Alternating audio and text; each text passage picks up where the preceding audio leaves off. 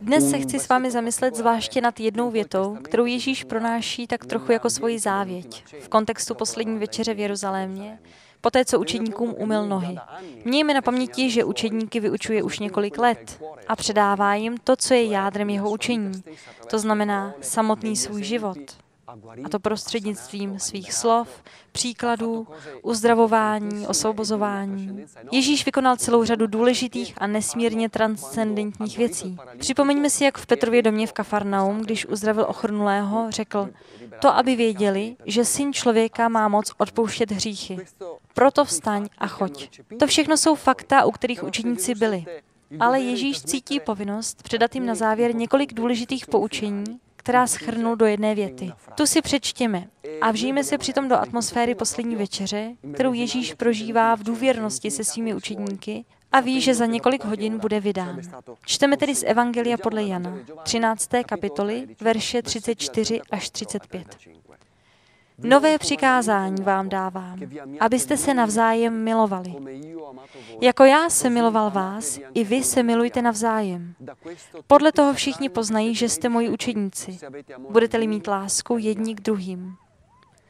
Mít lásku jedni k druhým. Kniha Levitikus, což je jedna z prvních knih v Bibli, nám říká, miluj svého bližního jako sám sebe. V čem tedy spočívá ta novost, o které mluví Ježíš? Novost, kterou Ježíš předkládá, je tato. Láska je přikazována už mezi prvními úryvky Bible, ale Ježíš dodává, jako já jsem miloval vás.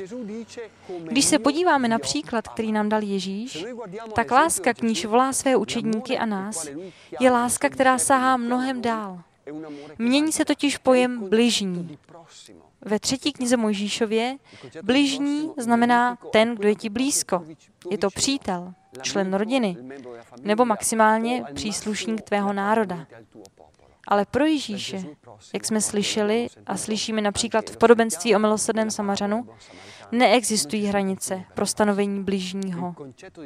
Pojem bližní je pro Ježíše mnohem širší. A to tak, že se dotýká i toho největšího nepřítele, takže se stává mým i tvým bližním. Máme se milovat tak, jak On si nás zamiloval. V tom je nám Ježíš příkladem. V tom spočívá ona novost tohoto přikázání, o němž Ježíš hovoří s učedníky krátce předtím, než vydá sám sebe. A má obrovský dosah. My musíme mít srdce, jež není omezené žádnou hranicí.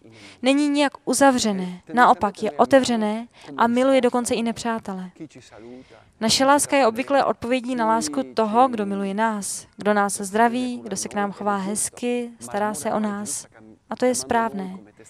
Ale láska, k níž nás volá Ježíš, jako znamení, že jsme jeho učedníci, abychom ukázali světu, že jemu patříme, v této lásce jde o něco víc.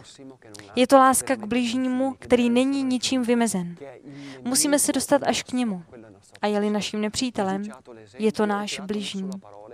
Ježíš nám dal příklad a dává nám ho svým životem. Pár hodin na to vydává svůj život, obětuje sám sebe. Toto je tedy přikázání, které dává. Milí přátelé, my víme a známe, co znamená být křesťany. Je to povolání a je to výzva, protože náš mistr učinil věci, které jsou pro nás nemožné, bez boží milosti, která v nás působí. Ale jestliže to po nás Ježíš žádá, pak to znamená, že jeho milost nám v tom pomáhá. Máme možnost rozšířit naše srdce. V boží milosti máme možnost přijímat svého bližního, i kdyby to byl nepřítel a milovat ho. To je pro nás velice důležité. Mnohem důležitější, než chodit s odznaky, kříži nebo jinými náboženskými ozdobami, abychom tím dokázali, že opravdu závisíme na něm a náležíme mu. Ježíš řekl, jestli chcete ukázat, že jste moji, musíte se mezi sebou navzájem milovat. Musíte milovat i ty, kdo se k vám chovají nepřátelsky a zle. Toto je skutečné revoluční poselství Evangelia. A Ježíš v tomto smyslu opravdu dělá revoluci, protože z hlediska mentality světa světem otřásá. To, co vítězí, je odpuštění. Je to bezmezná láska, již se dostává k mému bližnímu, i kdyby to byl nepřítel. Pak nepotřebujeme mít na hrudi kříž nebo náboženské symboly, protože dokazujeme, že patříme Ježíšovi a náležíme do jeho společenství přátel. To vám přeji a loučím se od Tiberiackého moře.